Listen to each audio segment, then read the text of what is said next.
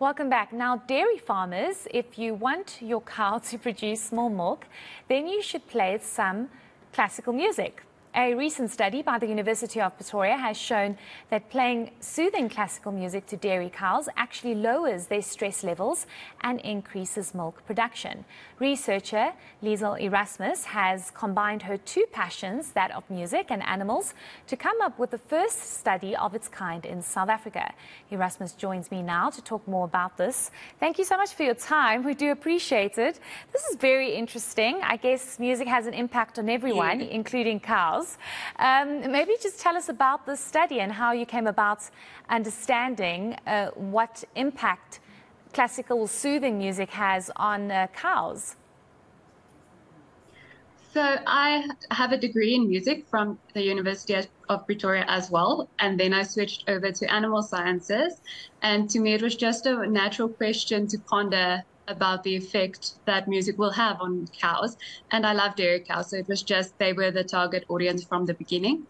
And for me, we looked at soothing classical music because that was what research has shown worked on other animals. So we had three treatments one where we exposed the cows to constant classical music, uh, the second one where they were exposed to limited classical music, which only happened in the milking parlor, and then the control group, no classical music. So we had three groups of cows. Each group were um, it, it were exposed to each treatment, and then we saw that um, the group that or when all groups were exposed to constant um, constant musical exposure, they all had lower stress level and associated increase in milk production.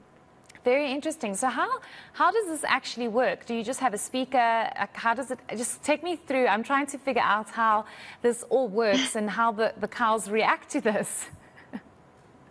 so what we did for the barn, where they basically sleep and eat and spend their day, we um, built a how do you, element resisted um, speaker. So basically, just a speaker in a um, protective box, and we connected that to the power outlet, uh, outlet. And then in case of load shedding or power outage, we connected a battery as well. So they were exposed 24 hours a day to classical music. It was um, eight hours of classical music playlist that um, was placed on random shuffle. Um, no, so that they don't have, you know, an associated music, um, a play, a musical work associated with an action of the day. So um, random shuffle and then, um, know, it wasn't a fancy speaker or anything. We just connected that to an audio or a radio that played uh, the music over a USB. And then in the milk parlor, we used a portable speaker, so a JBL that was connected to an old phone that played the music over um, Bluetooth. Interesting. I'm also curious to ask you, and I'm sure this obviously came out in your in your study, but you know, one would say, what kind of stress would a cow be under that you would find the need to soothe it and play this music? Uh, what what did you find in your study that you you decided to try and um, alleviate the stress from these animals? So for a dairy cow, they are exposed to many unnatural noises, so like traffic or um, just screaming noises from workers or people in the surrounding, just noises that they aren't necessarily familiar with.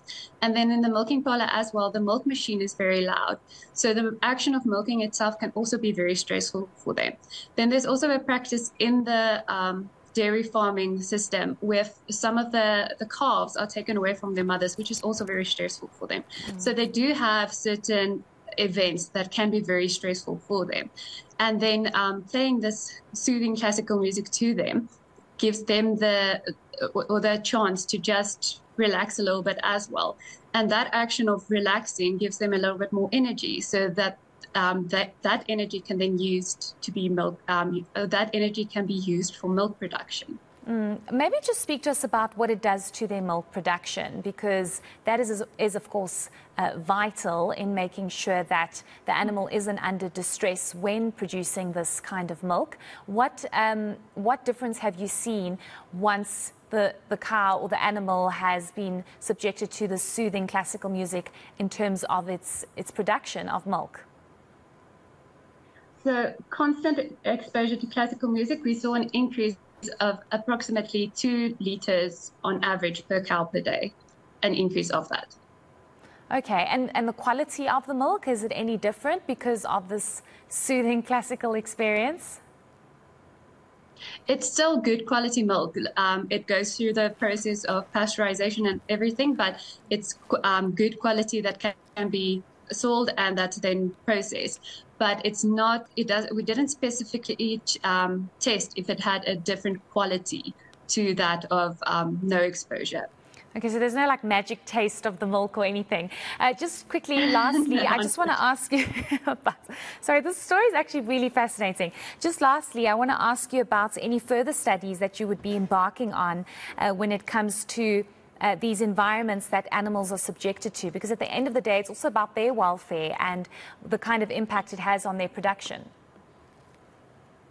So I will be continuing with a PhD. We've started at the beginning of the year. So it will also be welfare focused and will incorporate um, precision farming as well as heat stress and then hopefully continue with an element of, um, you know, classical compositions as well. Okay, very interesting. Thank you so much for uh, your insights and the, the, work that you're doing. We do appreciate it. That was Lize Erasmus, who has done a study on uh, how uh, soothing classical music increases the production of dairy cows. Very interesting there.